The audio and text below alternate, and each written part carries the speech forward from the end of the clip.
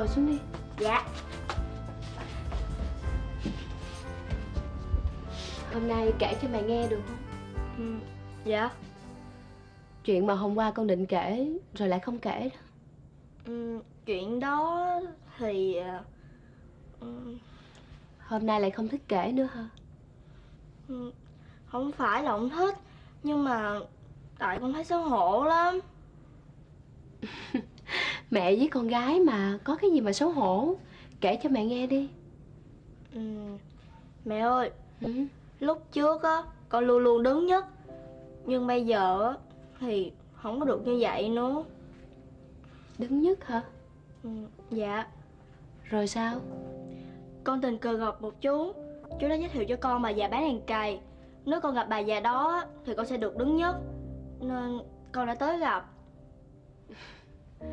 Rồi sau đó con được đứng nhất đúng không? ừ, Dạ ừ, Nhưng sau khi gặp bà á Thì con khóc thì cũng không được Cười thì cũng không xong Sao kỳ vậy? Nên hôm nay con đã tới gặp bà già đó Con đã nói là Con không cần đứng nhất nữa Con chỉ cần cười lại thôi Rồi sau đó thì con cười lại được, phải không? Dạ Con nghĩ là mẹ tin con nói hả? Thật ra thì con biết là mẹ sẽ không tin. Nhưng đúng là vậy đó mẹ. Hoàng Lan nè. Con có biết đối với mẹ Con đứng nhất hay là không đứng nhất? Chuyện đó không có quan trọng. Nếu như một con người Mà muốn cười cũng không cười được Muốn khóc cũng không khóc được Thì người đó bất hạnh dữ lắm.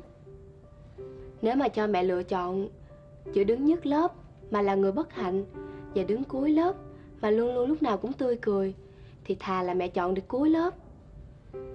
Mẹ muốn là Hoàng Lan của mẹ lúc nào cũng phải cười tươi hết. Con hiểu không? Dạ. Hứa với mẹ nha. Dạ.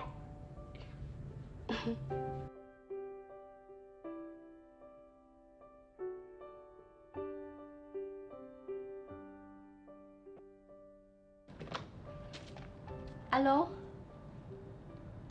Ừ Thảo hả? Sao rồi? Thủ tục xong hết chưa?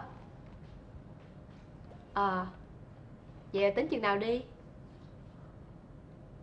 Ừ Vậy hả? Sao?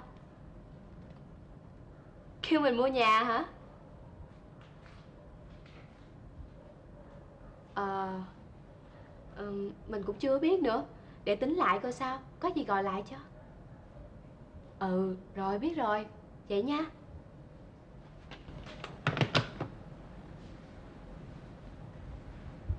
Nhà hả? Nếu mà bán căn nhà này, Chỉ cần bù vô được một ít nữa thôi Là mua được căn nhà của Thảo rồi. Mà nhà rộng như vậy, Ở làm sao hết? Hay là cho mướn trên lầu ta? Vậy chắc là mẹ không chịu đâu Mà cũng không có tiền nữa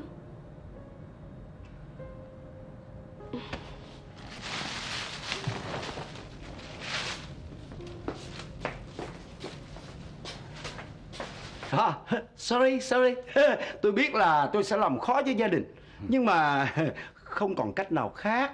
Dạ Vợ con tôi ngoài Hà Nội vô, không có báo trước.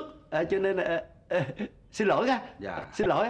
Dạ. Dạ dạ. À, thu dọn đi cho sớm nha. Vậy ha. Dạ.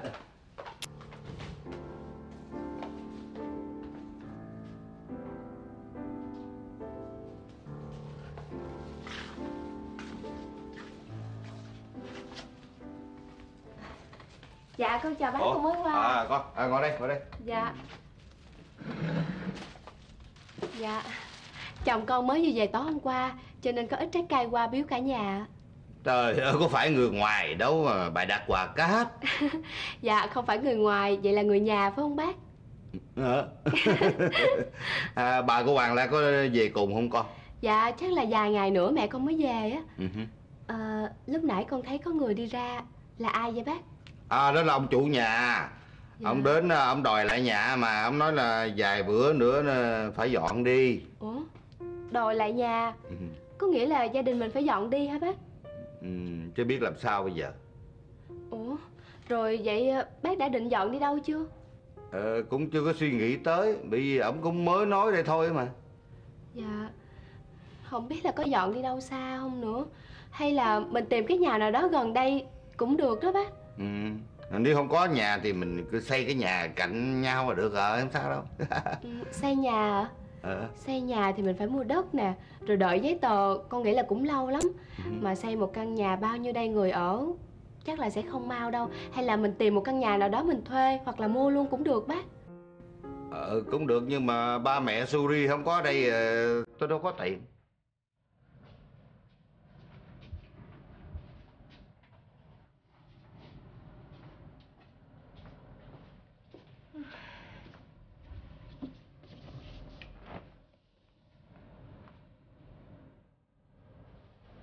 Làm sao bây giờ đây ta?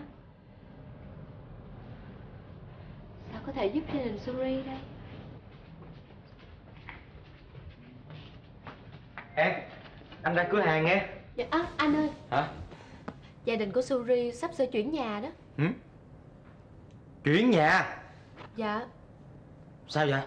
ừ, Thì ông chủ nhà Ông đòi nhà lại để ông ở. Bây giờ bắt á là phải chuyển đi gấp Mà bây giờ không có Bun Un Cô không có Chini Cho nên bác Bà Ram không có đủ tiền để đổi. Thì dễ quá mà. Thì bây giờ chờ Chini với Bumun về rồi mua. Không có được Họ bắt là mình phải chuyển đi liền mà. Chuyển đi liền hả?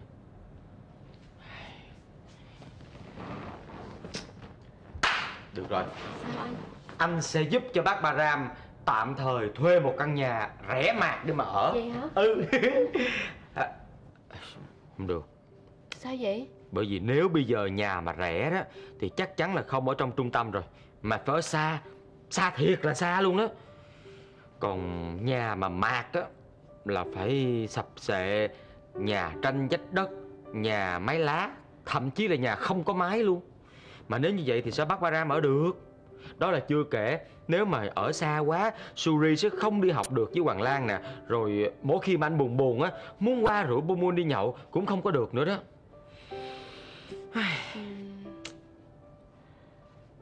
Anh ơi. Ừ? Hay là mình chuyển nhà luôn đi. Gì? Con nhỏ Thảo bạn em Nó sắp sửa đi nước ngoài. Nó nói là muốn bán lại nhà Mà nó không có muốn bán cho ai khác hết á. Nó tiếc nhà đẹp Mà rộng rãi nữa. Nhưng mà sao tự nhiên rồi thì em nghĩ tới cái chuyện chuyển nhà là sao? Thì nhà đó sống được hai gia đình mà. Rồi sao? Thì mình sẽ ở chung với gia đình của Suri. Cái gì? Ý em nói là bây giờ nhà mình với nhà Suri gom vô ở chung trong nhà đó đó hả? Đúng rồi được không anh? Đâu có được Sao vậy? Em thấy nhỏ Thảo nó bán lại rẻ dữ lắm. Thì rẻ là rẻ Nhưng mà mình không thể nào bán căn nhà mình này đi được. Căn nhà này là cái nhà kỷ niệm. Cái nhà này á rất khó khăn. Anh mới có thể mua được rồi xây nhà được như bây giờ. Giờ bán đi không có được đâu. Anh à. Không có được mà- mà. Trời ơi có gì đâu. Em biết á là anh tiếc cái căn nhà này. Nhưng mà Anh nói không có chuyện là không có chuyện. Không có bán là không có bán. Sao lại không được Không được là không có được. Em bỏ ngay cái suy nghĩ đó đi. Anh à. Không có anh em gì hết. Bây giờ anh ra ngoài cửa hàng đây. Anh Sao lại không được?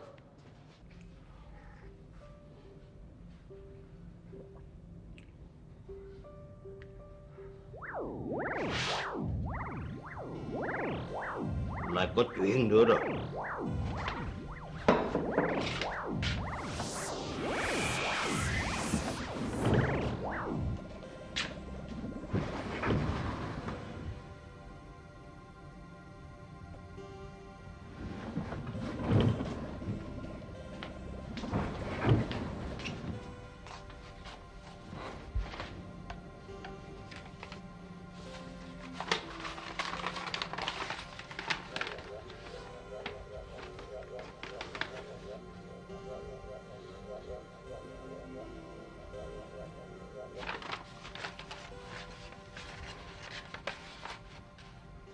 mình đang ăn á thì cô cầm roi đi xuống. Cái mình xin lỗi cô quá trời luôn. Mà tự nhiên cái cô cầm roi cô quýnh vô đít mình một cái cực kỳ mạnh. Đó tự nhiên cái mình tỉnh dậy. Mình thấy mình đang nằm ngủ gục té cái đuổi xuống đất rồi Công nhận bạn ham ăn đến nỗi mình nằm mơ cũng thấy mình đang ăn vụng nữa. Chứ sao? Hoài Lan bữa nay tươi tỉnh rồi nè Không có giống như mấy bữa trước. Thiệt hả? Ừ. Đúng rồi đó Mà bộ mấy bữa trước bạn có chuyện gì hả?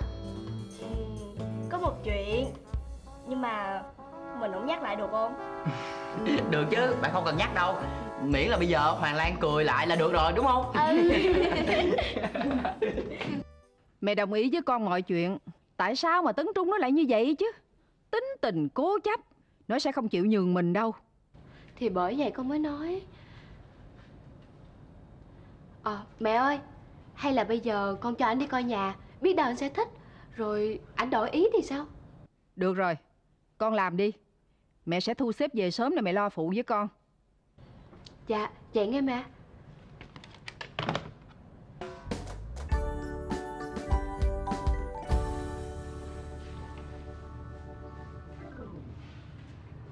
Anh Thưa cô mới tới. Ừ.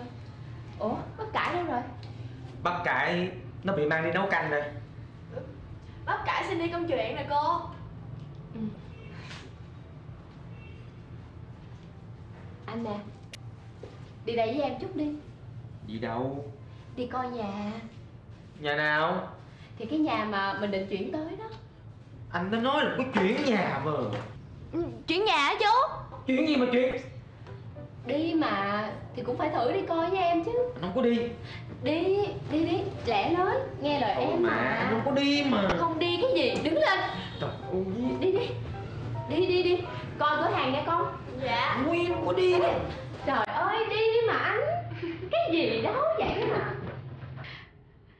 Cô chú tình cảm thiệt. Hâm mộ á khó hiểu quá. Tức quá đi chị tại sao lại có chuyện nghịch lý như vậy ở trên ở trên trên, trên nhà và gia đình pháp thuật kêu mình là phải phải tiếp cận gia đình Param và tiêu diệt con của ngài nghi trưởng nữa. Còn cái thằng thấy không cái thằng giọng điệu chỉ huy nó kêu mình ngủ ngủ ở đây ăn ở đây không cho ra đường để nó đưa ra chỉ thị. Đó bây giờ biết nghe lời ai nghe lời ai ai? Mày mỏi không? em mỏi sao không mỏi? Mỏi không? mỏi. Ngồi xuống đi thằng quỷ. Ngồi. Cứ sao quần sao quần hoài Trời, à. giờ đi mỏi giò quá. Mày Mày dẹp ngay cái kiểu suy nghĩ. Ngu ngốc Ngu si Ngu xuẩn Cái chứ Nín Kể từ ngày hôm nay. Không được nói tôi ngốc ngu ngốc ngu si ngu xuẩn nghe chưa? Như vậy là dễ xích mích tình chị mất tình cảm mất đoàn kết bây giờ. Thà chỉ nói tôi là kém thông minh hoặc là văn hóa bị lùn có khi tôi chấp nhận. Cái đồ thiểu năng. À câu này Mày nha Mày mày lo đi mà mà đột nhập vô nhà Suri á Rồi còn bắt con nghị trưởng nữa. Ừ. Ngồi đó mà nói hoài Nói hoài vậy đó. Ủa cái giọng này nghe quen quen ta. Tôi mới vừa nghe là một cái giọng mà ở trên thế giới phép thuật. Rồi cái giọng của cái thằng chỉ huy. Rồi bây giờ tới cái giọng của chị Trời đất ơi Lẽ cuộc đời tôi tôi phải chịu ba tầng giọng nói Rồi ba tầng chỉ huy. Chứ lẽ một con người đẹp trai thông minh như tôi Mà tôi chịu ba tầng áp bức vậy sao? À Giờ tao có ý này nè. Cái gì? Hay mày dùng lên đi. Đúng rồi. Dùng lên đi Dùng lên. Đúng rồi. Mình phải dùng lên mình phải đấu tranh Mình giành công lý giành công bằng đúng không à, Để coi bắt đầu từ ngày mai Ừ. Là coi như là mạnh ai nấy đi đi ha. Đúng. à, Tao thì à, vẫn ở đây Vẫn ở trong động Mày thì ra đường ở Ở vỉa hè ở đâu đó Ở đại đi. À, Tao nói là thôi còn khỏi cần à, phải dướng tay bận chân nữa.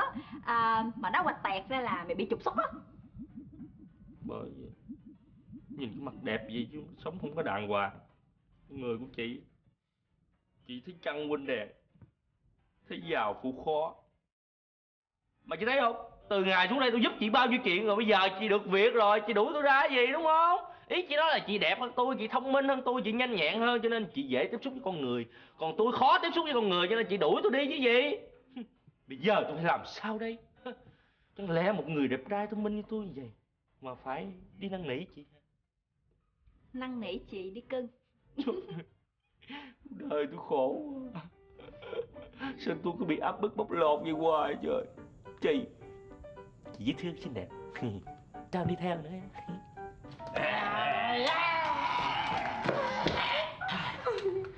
Ủa chú?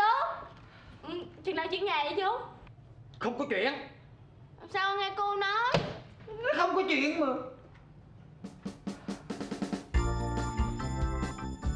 Các bạn ăn đi. Ông. Ừ. công an để chị nhảy cho con coi nha.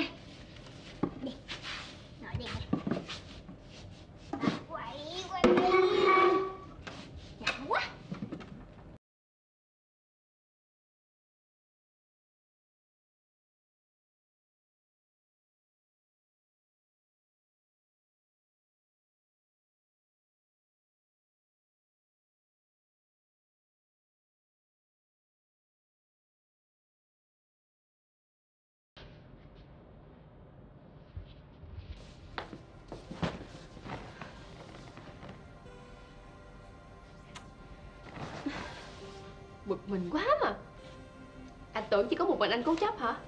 Tôi cũng cố chấp vậy.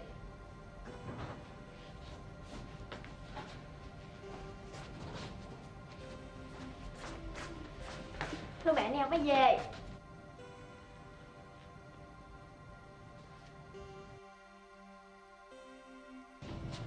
Hai đứa Ngồi xuống đây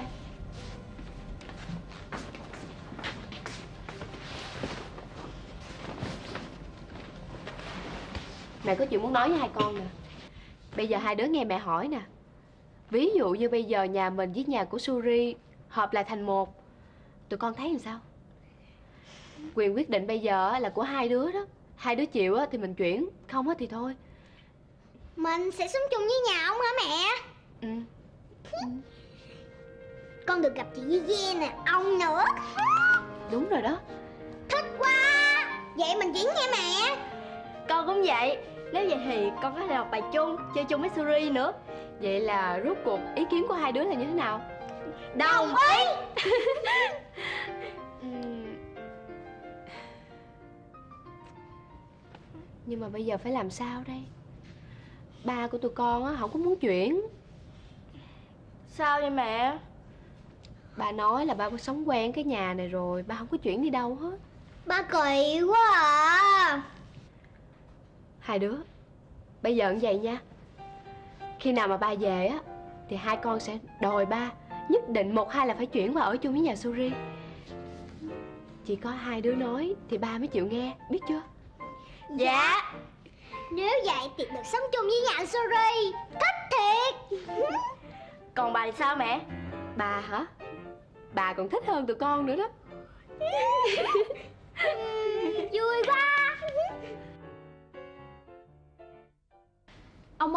chị Hoa Hồng đang ngủ rồi Mà có cần kêu chị dậy không ông?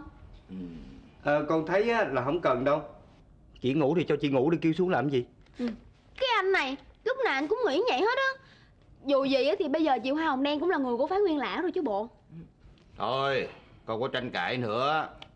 Chuyện này á thì Dê Dê xin nói lại cho cô ấy nghe sao. Ừm, chuyện là như vậy. Ở trên á, bảo chúng ta phải dọn nhà để tránh sự truy tìm của phái ma nữ. Ừm, công nhân là chủ nhà, người ta đòi nhà gấp. Ông cũng chưa biết tính sao, bởi vì ba mẹ Dê Dê không có mặt ở đây. Con thì con mới xuống con không có biết. Suri về về Tính sao giờ? À ông Hay là mình nhờ chú Trứng Trung tìm giúp đi. Đúng đó ông. Tại vì á, bữa trước con nghe cô Mai Phương á Nói là muốn chuyển nhà nhưng mà chú Tấn Trung không có chịu.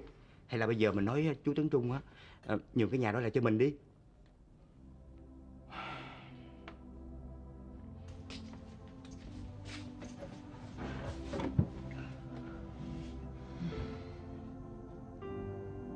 Chuyển nhà Có nghĩa là mình không được gặp Hoàng Lan Không còn được học chung với các bạn nữa.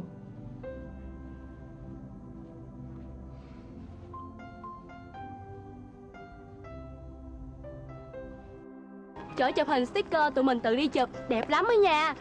Mình chụp ở đó không biết bao nhiêu lần rồi mà vẫn không có chán. Bộ ở đó chụp đẹp lắm hả hả Ừ Hôm bữa mình ở đó từ sáng đến tối luôn Chụp hết tiền luôn. Về nhà bị mẹ la quá chừng. Đúng là con gái Có vậy mà cũng thích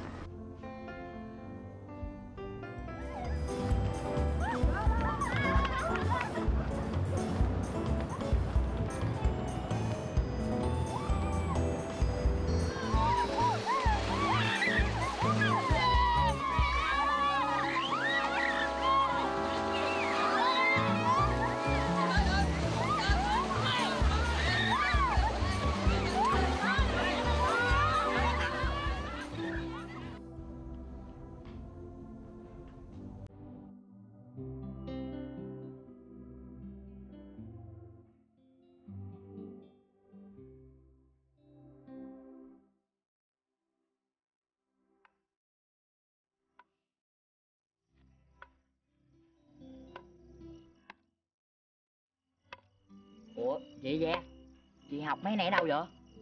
Ừ, Thì chị học trong mấy quyển sách của thế giới loài người đó.